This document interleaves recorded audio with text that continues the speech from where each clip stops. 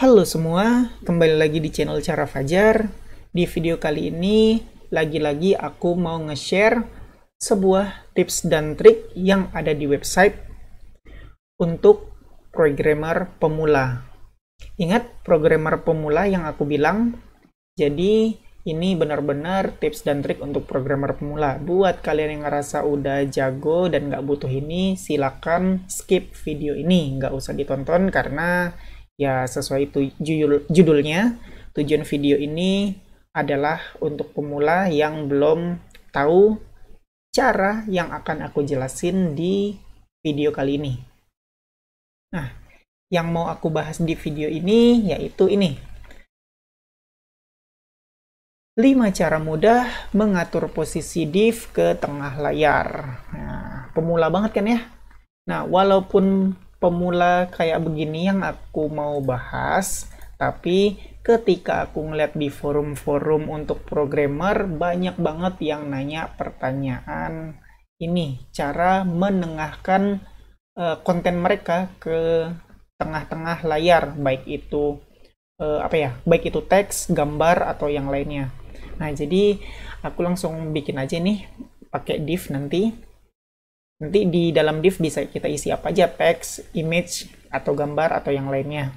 Jadi intinya yang bakal aku share adalah cara mengatur posisi div ke tengah layar. Nah, sesuai yang aku bilang tadi ya, ini untuk pemula banget. Jadi buat kalian yang ngerasa udah nggak butuh ini, silahkan skip video ini. Dan buat kalian yang ngerasa masih pemula dan belum tahu cara-cara ini, silakan nonton sampai selesai.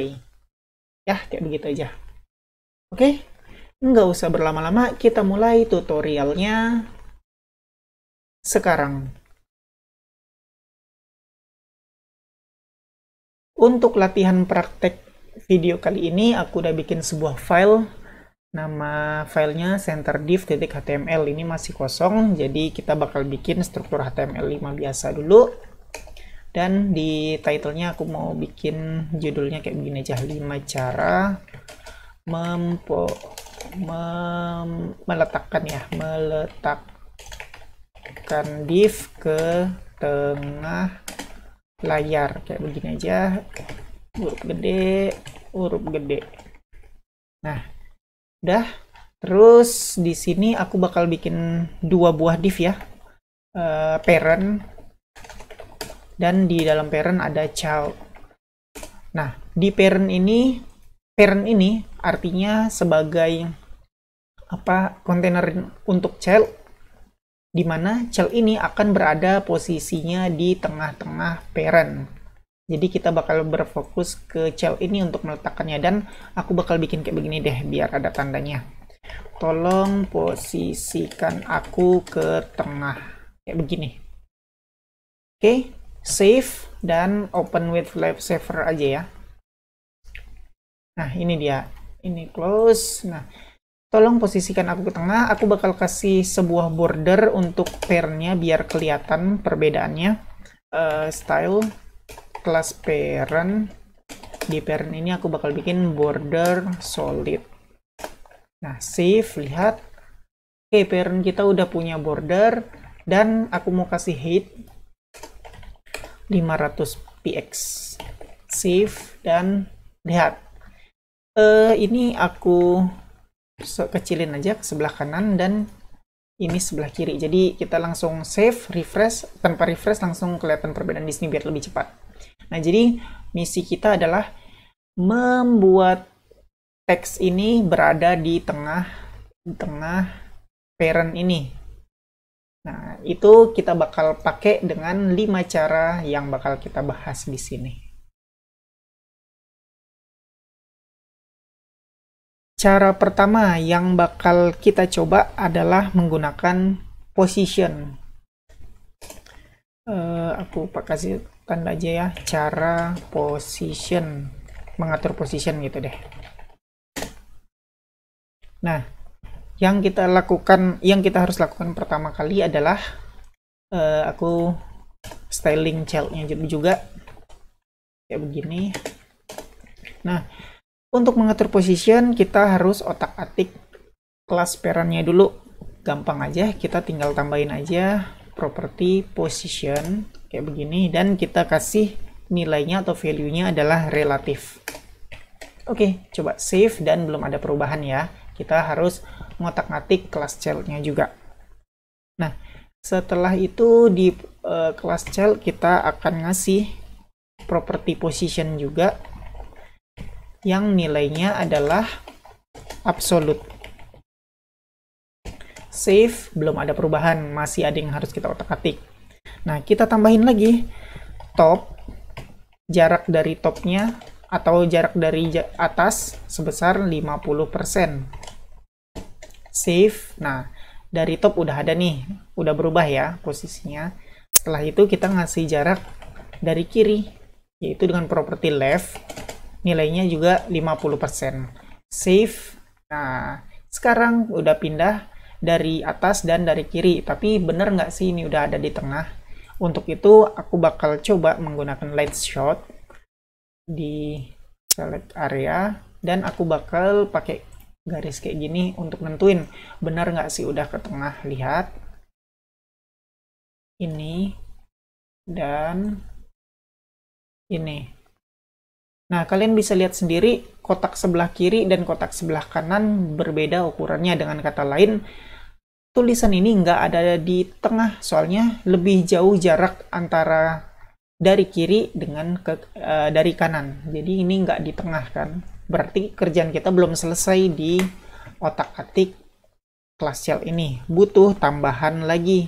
Nah tambahannya apa tambahannya kita harus nambah properti yang namanya transform nah di dalam transform ini kita kasih nilai translate Nah, sebentar ini ganggu banget ininya. Aku pencet ini untuk ngilangin eh, atau untuk toggle tampilan ini teman-teman bisa mencet ini ya, kontrol spasi. Tuh. Jadi aku nggak mau tampilin infonya karena terlalu apa ya semak terlalu apa ya ngalangin jadi aku pencet kontrol spasi untuk menyembunyikan ya tuh oke translate di dalam translate kita ngasih nilai 5 min 50% koma min 50%. Nah, udah kita save, lihat tuh posisinya berubah. Untuk membuktikan sekali lagi, pakai let's shot. Ini, kasih garis, sini, dan sini. Nah, teman-teman bisa lihat sendiri lah ya kotak kiri dan kotak kanan udah sama besarnya. Dengan kata lain, tulisan tolong posisikan aku ke tengah ini udah berada di tengah, yaitu dari kiri udah sama, dari kanan udah sama. Sekarang kita coba dari atas sama dari bawah udah sama juga apa enggak? Uh, dari bawah dulu. Sekarang dari atas. Nah, jarak antara atas ke bawah pun sama besarnya. Berarti emang udah benar-benar teks ini di dalam div ini udah benar-benar ke tengah posisinya. Nah, kayak begitu aja cara pertama untuk mengatur uh, div ke tengah menggunakan position. Cara kedua yang bakal kita gunakan untuk memposisikan div ke tengah adalah menggunakan flexbox. Jadi aku hapus-hapusin dulu ini semua. Uh, ini aku ini ya cara flexbox. Nah kita coba save seharusnya udah kembali ke posisi asal. Yuk kita coba dengan posisi flex, uh, bukan sorry bukan dengan cara posisi flexbox tapi dengan cara flexbox. Nah, cara yang pertama kita ngatur di kelas parent-nya dulu. Di kelas parent kita kasih property display yang isinya adalah flex. Oke, save, belum ada perubahan. Kita harus nambah lagi yang namanya justify content yang isinya center. Save. Nah, kita udah memposisikan uh, teks atau div ini ke tengah secara uh, horizontal aja. Nah, teman-teman, kalau kalian mau uh, menengahkan div secara horizontal atau sumbu X aja, kiri ke kanan, kalian bisa pakai properti justify content yang nilainya center. Kayak begitu aja udah cukup. Tapi kalau mau ke tengah antara uh, ja, apa uh, horizontal dan vertikal berada di tengah sini, kalian harus nambahin satu lagi yang namanya uh, align items center. Save. Nah, udah ke tengah. Jadi secara horizontal dia di tengah, secara vertikal dia juga udah ke tengah. Nah, jadi kalian bisa lihat ya, aku ulangin, kalau kalian mau secara horizontal aja, kalian bisa pakai yang justify content center. Kalau kalian mau vertikal aja, ini aku reset dulu. Kalau kalian mau ke vertikal aja yang di tengah, kalian bisa pakai align item saja yang center. Tuh. Di tengah. Kalau mau dua-duanya, kalian harus pakai properti justify content center dan align item center save dan jadilah kayak begini vertikalnya di tengah horizontalnya di tengah lanjut cara ketiga cara ketiga ini kita sebut atau kita gunakan uh, cara grid nah aku reset lagi semuanya save dan kembali ke posisi awal nah di posisi awal ini kita tambah display grid di parentnya. Nah ini yang harus pertama kita lakukan. Di dalam kelas parent kita kasih display grid. Udah selesai, save, belum ada perubahan.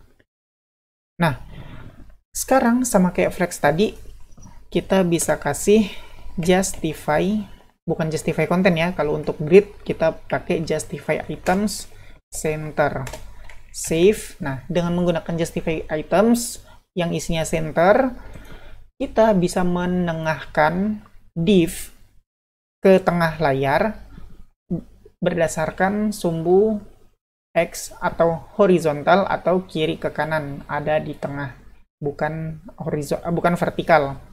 Kalau mau vertikal gimana? Ya kalau mau vertikal kita kasih align items. Jadi hampir-hampir mirip dengan flexbox ya. Kita kasih align, align item center. Save dia berada, udah berada di tengah secara horizontal dan vertikal. Sama kayak flexbox tadi kalau mau uh, horizontal aja justify items. Kalau mau vertikal aja align items kalau mau dua-duanya harus pakai justify items dan align items di grid supaya bisa ke tengah berdasarkan posisi horizontal dan vertikal Yang ini cara keempat untuk menengahkan div. Uh, hapus dulu semuanya. Uh, save dan kembali ke posisi awal. Cara yang mau kita pakai di cara keempat ini, cara flex dan margin. Jadi kita kasih flex dan margin. Kalau uh, tadi flex kan udah kita pakai ya, flexbox. Nah di flexbox ini kita cuman naruh properti-propertinya di parent aja. Di child nggak ada properti. Nah, kalau flex dan margin ini kita ngasih di parent dan uh, childnya juga. Jadi childnya nggak dicuekin. Yang tadinya di flexbox kan uh, childnya dicuekin ya. Kelas child ini nggak ada properti, kosong gitu aja. Kalau di cara ini ada propertinya. Nah, gimana? Langsung aja aku praktekin. Uh, yang pertama, kita harus kontak-atik kelas parent. Kita tambahin sebuah properti namanya display dan isinya flex. Jadi hampir sama kayak flexbox tadi karena kita ini pakai flex juga. Di save dan belum ada perubahan. Kita tambahin lagi di kelas child sekarang. Nah, ini yang aku bilang tadi di flexbox yang pertama kan childnya ini dicuekin aja nggak ada properti apa-apa. Nah, di sini uh, childnya dikasih properti. Propertinya apa? Propertinya adalah margin. Nah, margin ini nilainya kita kasih auto. Save Nah, udah ke tengah dia. Jadi cukup nambahin display flex di kelas parent dan nambahin margin auto di kelas child. Jadilah kayak begini, langsung otomatis dia ada di tengah secara vertikal dan secara horizontal. Ini cara terakhir di video tips dan trik ini. Nah, cara terakhirnya apa? Cara ini sama dengan cara sebelumnya. Perbedaannya adalah kita bukan pakai cara flex dan margin, tapi kita pakai cara grid dan margin. Oke, kita coba aja uh, hapus ini semua supaya reset ke posisi awal, save, dan ada di sini. Ini benar-benar mirip dengan flex dan margin. Untuk grid dan margin perbedaannya flex cuman diganti dengan grid aja. Cobain aja, display uh, grid. Nah, kita nambahin properti display yang isinya grid ke kelas parent. Save, belum ada perubahan. Di child kita juga kasih margin nilainya auto udah kayak begitu jadi perbedaannya yang tadi flex diganti dengan grid kayak begitu aja coba kita save dan dia udah ada di tengah antara vertikal dan horizontal Ya, segitu aja pembahasan video kali ini. Kita udah ngebahas tentang cara-cara membuat uh, mengatur posisi sebuah div ke tengah layar menggunakan CSS.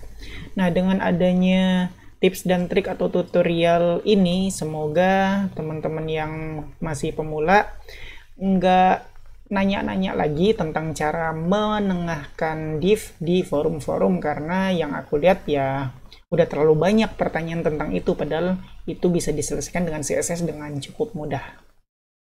Oke, kayak begitu aja video kali ini. Kayak biasa, buat kalian yang suka sama video ini silahkan di like. Buat kalian yang udah nonton video ini tapi belum subscribe, silahkan di subscribe dulu, terus hidupin notifikasinya, supaya kalau aku upload video baru, kalian dapat notifikasi dan bisa langsung nonton video terbaru aku tersebut. Buat kalian yang ngerasa video ini berguna dan bermanfaat, silahkan share sebanyak-banyaknya, supaya teman-teman kalian tahu juga tentang video ini dan mendapatkan manfaatnya. Makasih udah nonton video ini sampai selesai, kita ketemu lagi di video selanjutnya.